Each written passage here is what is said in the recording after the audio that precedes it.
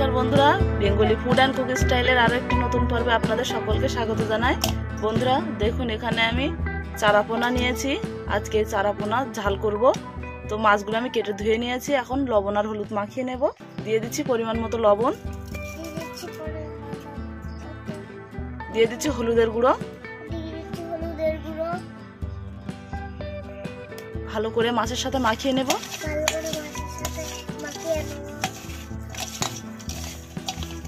মাছগুলোতে ভালো করে লবণ আর হলুদ মাখিয়ে নিয়েছি। এখন মাছগুলো ভেজে নেব। মাছগুলো কড়াইটা বসিয়ে দিয়েছি গরম হয়ে গেছে। এখন দিয়ে দিচ্ছি সর্ষের তেল।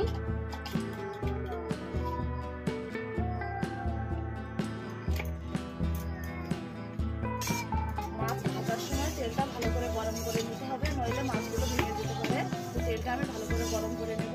তেল ভালো করে গরম হয়ে গেছে এখন মাছগুলো ভেজে নেব।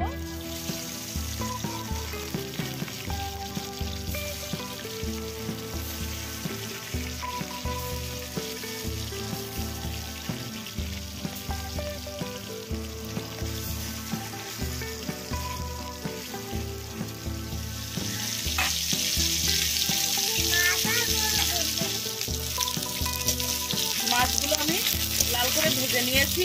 এগুলো ভাজা হয়ে গেছে, এখন তুলে নেব।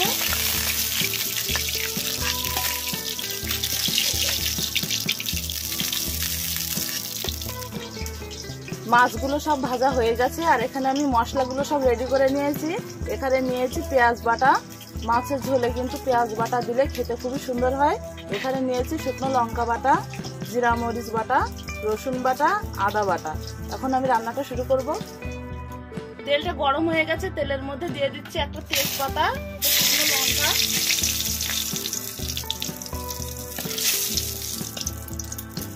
এবারে দিয়ে দিচ্ছি পেঁয়াজ বাটা।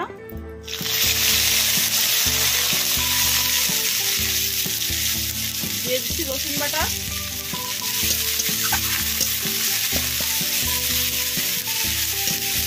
পেঁয়াজ রসুনটা একটু হালকা ভেজে নেব।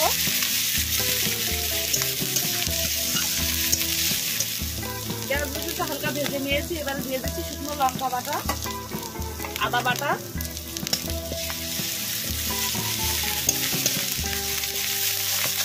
আবারও হালকা একটু ভেজে নিচ্ছি।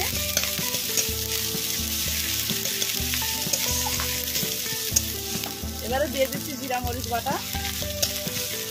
দিয়ে দিচ্ছি সামান্য একটু জল।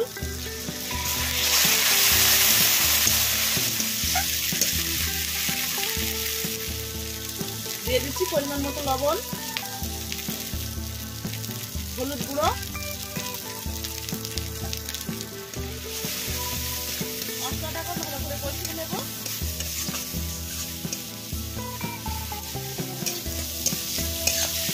মশলাটা কষানো হয়ে গেছে, এখন জল দিয়ে দেবো।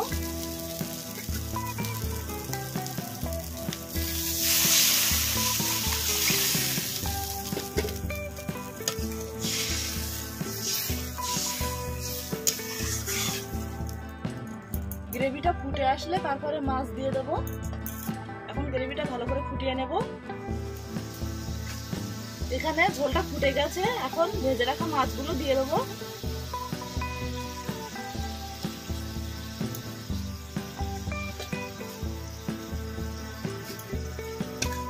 মাছগুলো সব দিয়ে দিয়েছি, এখন দুই তিন মিনিট ভালো করে ফুটিয়ে নেব। দেখুন, এখানে ঝোলটা অনেকটাই কমে গেছে আর মাছটা কিন্তু হয়ে গেছে রান্না করা। এবার আমি দিয়ে দিচ্ছি গরম মশলার গুঁড়ো। মশলাটা একটু মাছের সাথে ভালো করে মিশিয়ে নেব।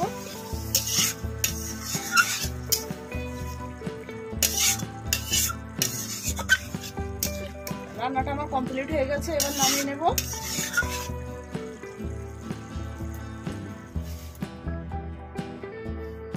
বন্ধুরা, ঝাল ঝাল মাছের ঝোল আমার তৈরি হয়ে গেছে, নামিয়ে নিয়েছি। আর দেখুন, দেখতে কতটা লোভনীয় হয়েছে। আর এরকম ছোট ছোট মাছের ঝাল খেতে কিন্তু খুবই ভালো লাগে। বন্ধুরা, আজকে এই রান্নাটি আপনাদের কেমন লাগল?